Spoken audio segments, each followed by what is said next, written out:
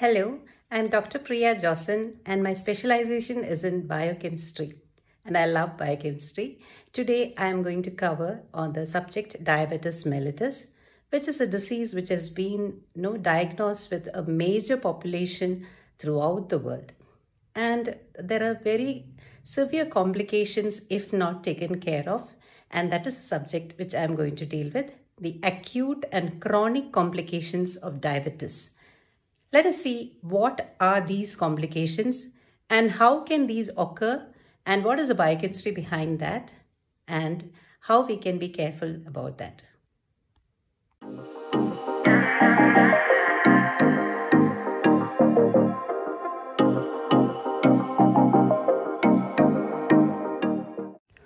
What is diabetes mellitus? Diabetes mellitus is a disease where the regulation of blood glucose is affected. Now, there can be different factors to that. It could be a deficiency of insulin production, or it could be a damage in the pancreas which produces insulin, or it could be a receptor which binds with insulin. And remember, insulin is a hormone which controls the regulation of glucose. So, whenever we have food, the glucose has to be broken down to give you energy. If the glucose is not broken down, the glucose accumulates in the blood, which leads to a rise in the blood glucose level, which is also called as hyperglycemia. And this is a classic thing which happens during diabetes. Now, what are the complications which can be caused because of this? Now, acute complications include diabetic ketoacidosis, hyperosmolar hyperglycemic non-ketotic coma and hypoglycemia. Now, chronic hyperglycemia is central to the pathophysiology of chronic complications such as cardiovascular and peripheral vascular disease, retinopathy, nephropathy, and neuropathy. Now, let us take the diseases one by one, which could be caused because of diabetes. So, what happens is over the time, this causes irreparable damage to many body organs and systems. And doctors refer to this as the end organ damage because it can affect nearly every organ in the system. So, the first one is hypertension or high blood pressure and heart disease. Hypertension is almost uniformly found in people with type 2 diabetes. Now, as the blood glucose level increases, our bodies attempt to use various means to lower the concentration of glucose back to normal levels because you don't have the insulin which regulates the breakdown of glucose and there is a high blood glucose level. So what does the body do? So the body senses it and body tries to reduce this by its own mechanism. So one way the body attempts to do this is by holding more fluid in the body or in the blood vessels.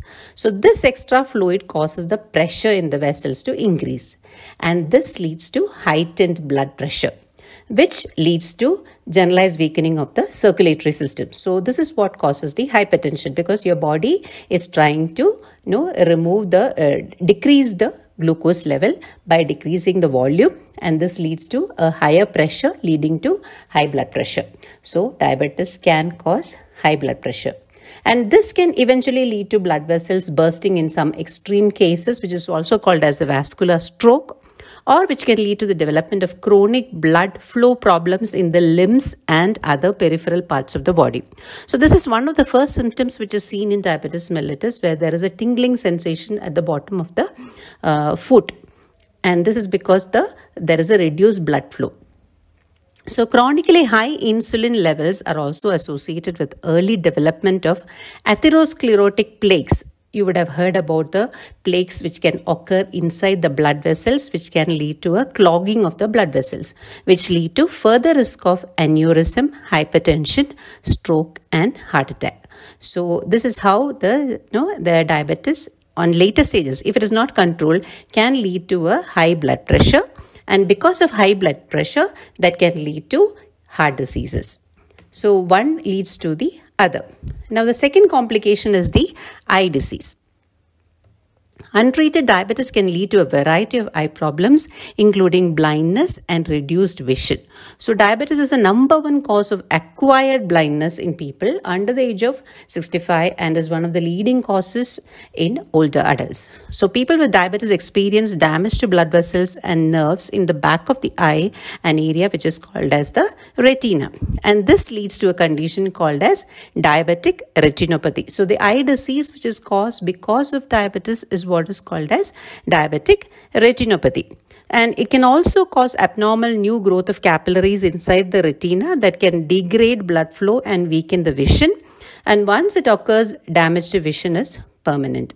So, but however, when identified early enough, many vision problems associated with diabetes can be repaired or avoided. So, individuals with diabetes should have their eyes examined once a year by an eye doctor. And people with diabetes can prevent eye problems by keeping their blood glucose under good control. So that is the reason why they say that once you diagnose that you know you have diabetes, it is always better to keep it under control because if not kept under control, it can lead to further complications leading to acute and chronic complications, which is very difficult to reverse back.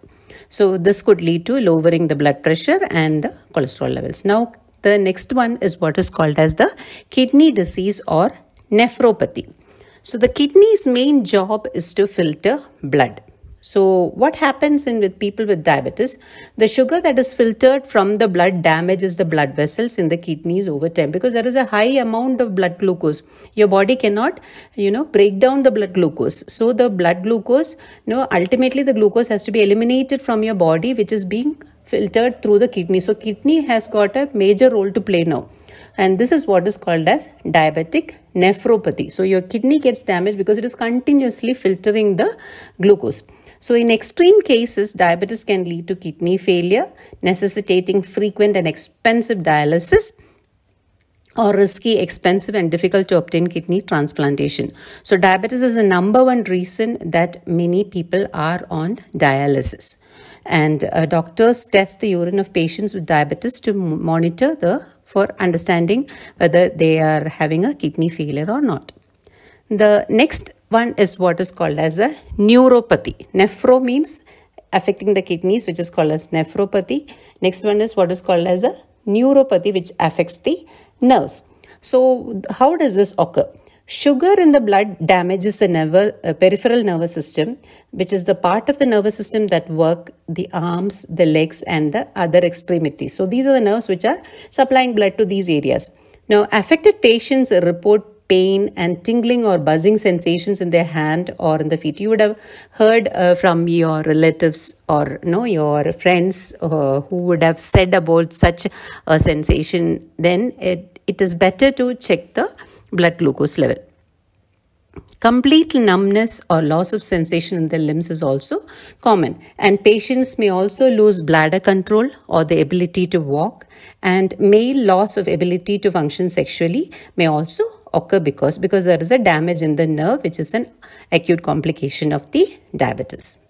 Next is joint and foot problems. So because the you know we were discussing about the damage to the nerve, poor blood flow in the limbs combined with the nerve damage and reduced or deadened sensation lead to the situation where the extremities, the feet, hands become easily susceptible to the damage and disease. So damage to joints and ulcers of the feet are also common. Foot and limb problems related to diabetes can usually be helped with proper treatment and the control of diabetes. However, if it is left untreated, wounds can become infected and limbs may require amputation. So this was common maybe a few decades before but now since the diagnostics have improved and people are diagnosing it very early and people are controlling diabetes the amputation is not in that level because it is controlled at a earlier stage itself okay.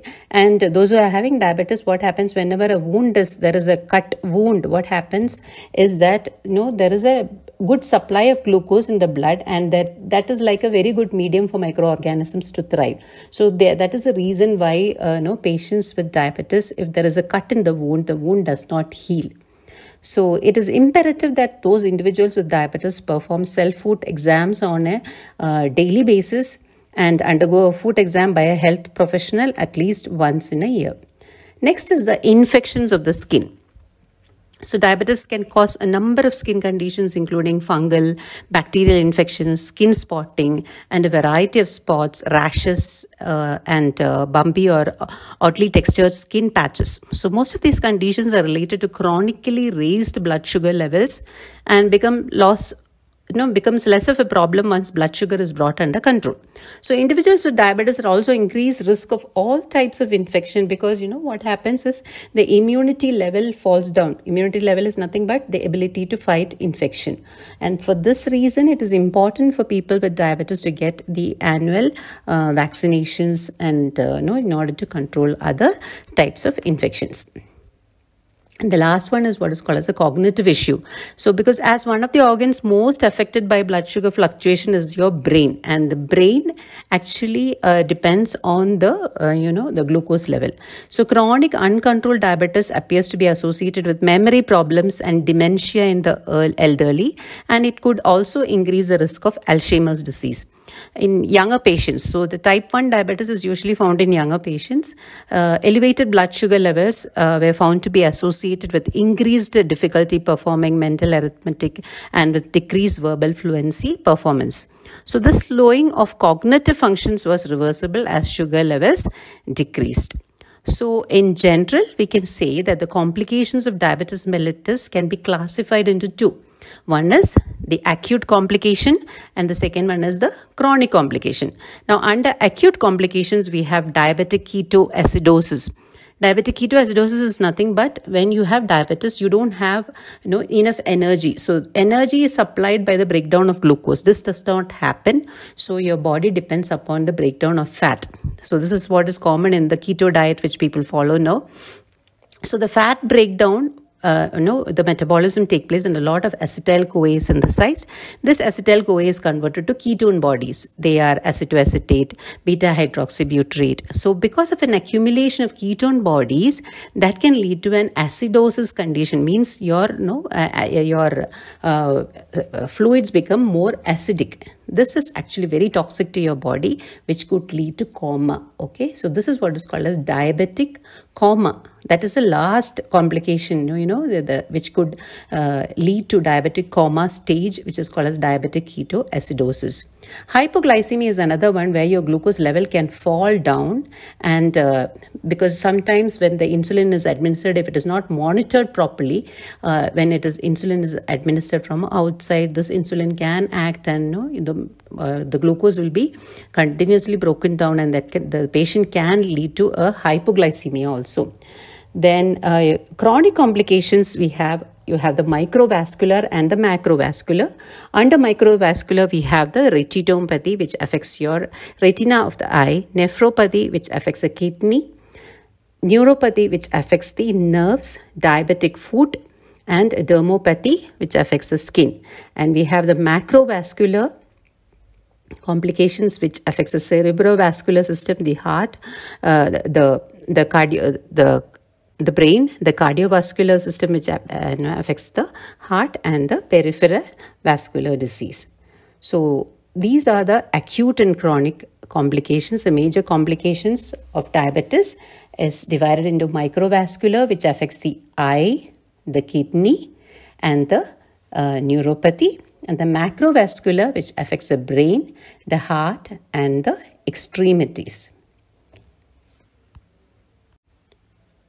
So remember, diabetes mellitus is a disease which you can live with happily if you control your diet and you if you regularly exercise and if you control it properly it cannot lead to acute and chronic complications. It is your decision how you tackle the disease which makes the difference. Thank you